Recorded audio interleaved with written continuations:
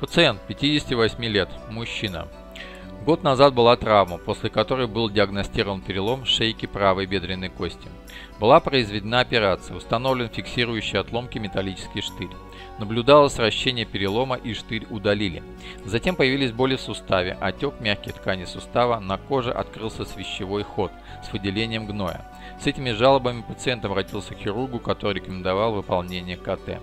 Зона исследования – правый тазобедренный сустав. Контрастное усиление не проводилось.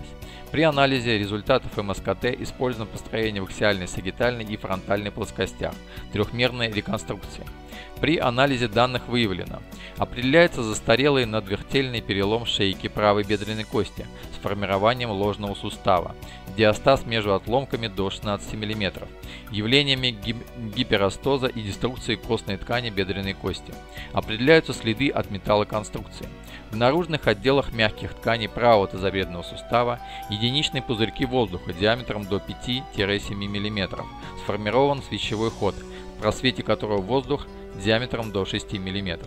Прилежащие мягкие ткани отечные. Суставная поверхность фильтрузной впадины с признаками субхондрального склероза. Признаков деструкции ее не выявлено.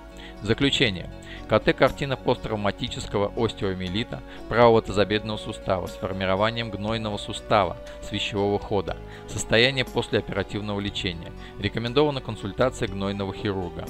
Такие данные КТ говорят о том, что сустав инфицирован, в нем идет воспаление, которое разрушает кость и прилежащие мягкие ткани. Воспалительный процесс вышел наружу, открылся свищевой ход, через который идет дренаж продуктов распада. Пациент нуждается в лечении у профильного специалиста, гнойного хирурга. Лечение будет идти в два этапа. Первое – санация очага инфекции. Второе – протезирование тазобедренного сустава.